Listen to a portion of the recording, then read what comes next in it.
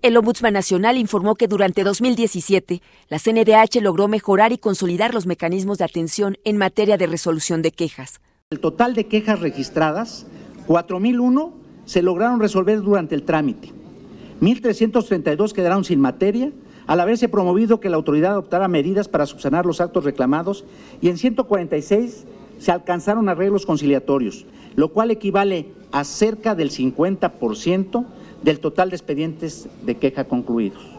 En el marco de su informe de actividades en el Palacio Legislativo de San Lázaro, Luis Raúl González Pérez también hizo referencia a las investigaciones de casos graves que por su complejidad y trascendencia permearon a la sociedad y que concluyeron el año anterior.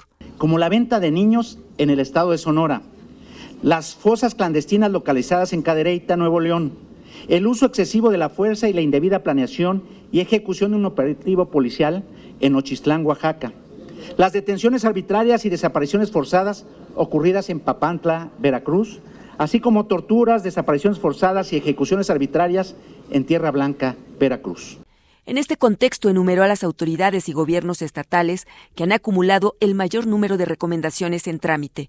La Comisión Nacional de Seguridad con 63, el IMSS con 50, la Procuraduría General de la República con 37, la Secretaría de la Defensa Nacional con 18 y la CEP con 16. Oaxaca con 16. Guerrero con 15. Chiapas con 12. Tabasco con 11 y San Luis Potosí con 9.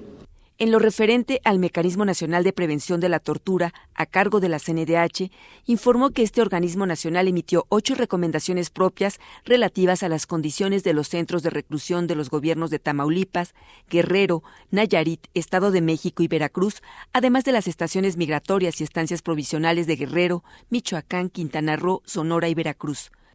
El Ombudsman Nacional reiteró que es compatible la prevención y persecución efectiva de los delitos con el respeto a los derechos humanos.